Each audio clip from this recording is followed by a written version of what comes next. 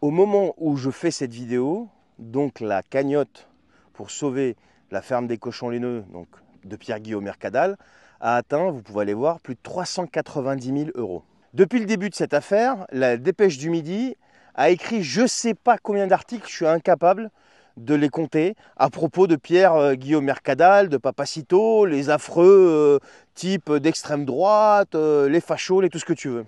Mais moi, il y a un truc qui m'étonne là. 390 000 euros en quelques jours.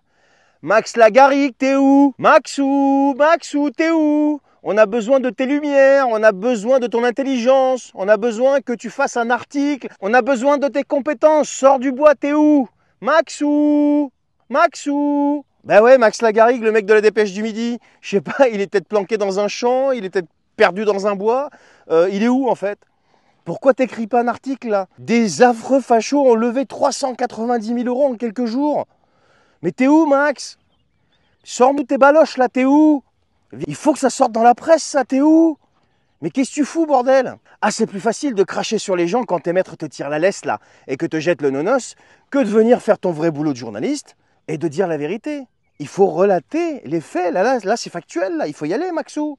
Mais pour ça, c'est vrai, il y a un truc important, bah, c'est qu'il faut être journaliste et un vrai journaliste.